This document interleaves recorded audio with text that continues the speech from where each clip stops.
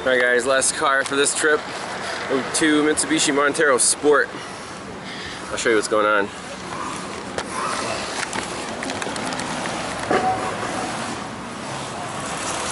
So, initially it was a crank no start.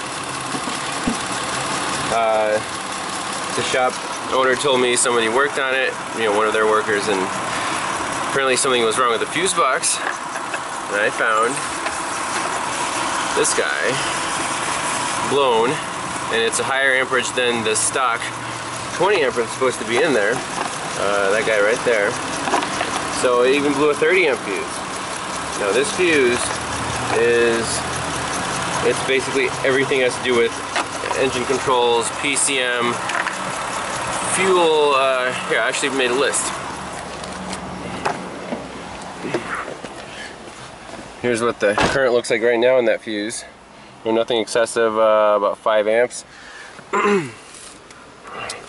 so according to our power distribution diagram, this fuse feeds the PCM and through the main relay it feeds, again, PCM power, idle air control, uh, fuel injectors, cam and crank, evap. I didn't even bother going through the whole list. But for an intermittent short to ground, what does scanner Danner say? Heat and vibration, right? So visual inspection is key here. Uh, first thing I noticed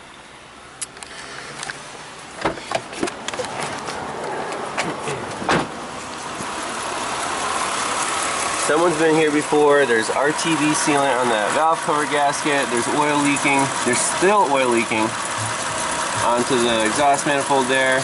The O2 sensor lives right there. Uh, but you know, you can do visual inspection of the harness. Everything seems to be pretty okay. And this looks pretty fresh. And that's the other upstream sensor. Again, visual inspection of the harness. Looks okay. Remember the O2 heaters are powered by this relay. And that's where a lot of heat and vibration is. You know, cam, crank. Now, let's grab our light and look at the downstream O2 heaters. Okay, there's four oxygen sensors here total. So let me grab that light.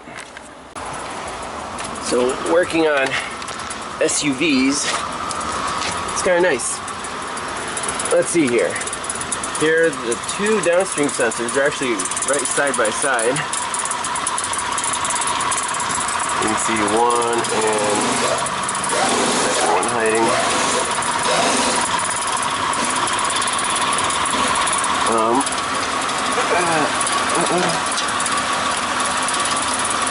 okay, here we go. So we have two pigtails, two option sensors, right? I'm like, hmm. Well, the harness kind of goes along the frame rail. But check this out. This looks very suspicious. That heat shield right there. And the sheath is not protecting that wire.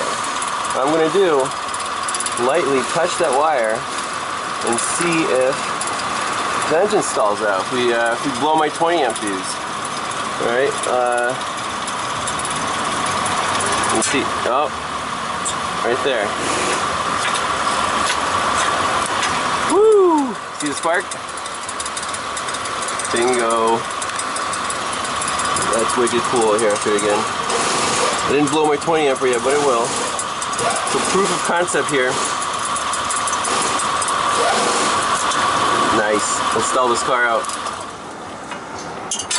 That's it. We're done. That was cool.